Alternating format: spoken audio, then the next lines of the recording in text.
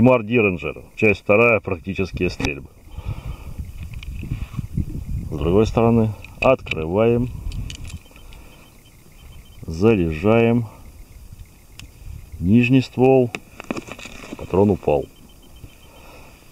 Верхний ствол. Патрон на месте. Закрываем. Стреляем. Вот, вот. Мишенька установлена. На формате А4 отпечатано. Расстояние где-то 2,5 метра. 2,5-3 метра. Под огнем. Под огнем.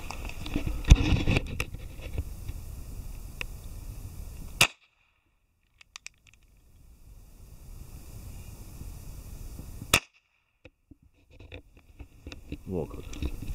Ну давайте для верности эксперимента экстрактор работал, гильзы, еще пару выстрелов, нет?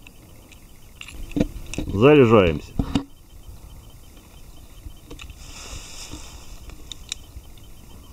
Под огнем.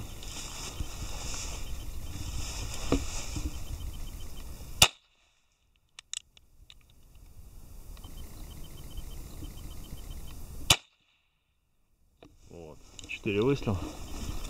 Посмотрим экстракция. И посмотрим на результат. Вот он результат отстрела. а, Два с половиной метра. А, Лист формата А4. Три пробоины, четвертая. Вот эта вот жирненькая красная точка, это точка прицеливания. И как видим, а, пистолет высит, и высит значительно. Высит почему? Смотрим внимательно на конструктив. Мушка, да, прицельная планка. Ну, как бы. И вот здесь вот узел э, крепления блока стволов к рамке. Так вот, получается, что вот этот вот наплывчик сверху, он нам точку прицеливания поднимает. И в результате, ну, в результате мы получаем, э, получаем такую, такую ситуацию, что если из-за этого наплыва у нас появляется мушка, то, соответственно, точка прицеливания у нас ползет вверх. Э, Здесь можно поступить следующим образом.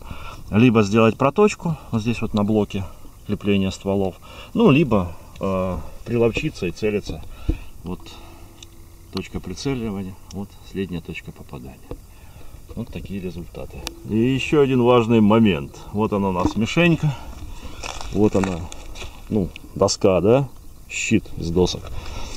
И вот, если посмотреть с обратной стороны, то вот эти вот отверстия в доске, вот это, это, собственно говоря, пробоины от Деренджера. Сосновая доска.